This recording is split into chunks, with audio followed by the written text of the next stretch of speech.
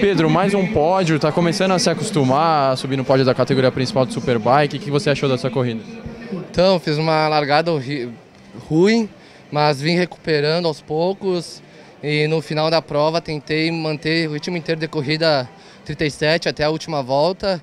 Vim buscando o Maximiliano, ultrapassei ele, consegui ainda abrir um pouco, então muito obrigado à minha equipe, a minha moto estava perfeita esse final de semana, a minha CBR 1000, obrigado a todo o time Honda, meus apoiadores, patrocinadores, amigos e vamos continuar com o mesmo ritmo para a próxima para subir no pódio de novo. Obrigado. Eric, acho que foi a melhor corrida, assim, no geral, pessoal, reação do público, o que, que você achou de tudo? É, para mim não foi a melhor, né? Fiquei em segundo. Mas foi uma, uma, uma, corrida muito disputada, foi, foi bonita a, a prova. É, infelizmente não deu dessa vez. Eu estava com bastante problema de, de spin, a mão estava derrapando bastante e eu perdi um pouquinho na reta também. Então, infelizmente, eu tentei o máximo que deu, mas na reta ele me passou como eu já, já esperava. E é isso, é, vamos para a próxima agora tentar conseguir a vitória.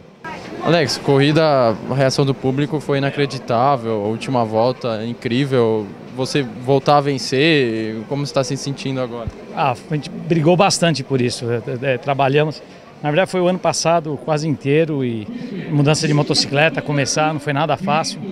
A gente cada corrida vinha se mostrando mais competitivo, sempre se aproximando mais e agora deu para fazer. Fico muito feliz, o trabalho da equipe foi imenso. Todos os colaboradores de todos, da BMW, da equipe Até, da MUPA, a suspensão, a Pirelli, da Krapovic, todos os partes técnicos aí, os patrocinadores, mas os técnicos me ajudaram muito para a gente ter uma moto cada vez um pouco mais competitiva e agora para de igual para igual.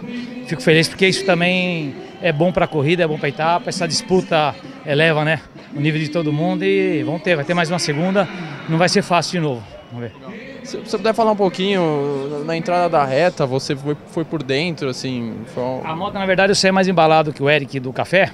E na hora que ele foi fazer essa semicurva que a gente fala, eu já estava com meia moto dentro. Se eu não jogo a moto para dentro, a gente ia acabar se batendo. Então, para evitar um acidente, eu tive que jogar a moto.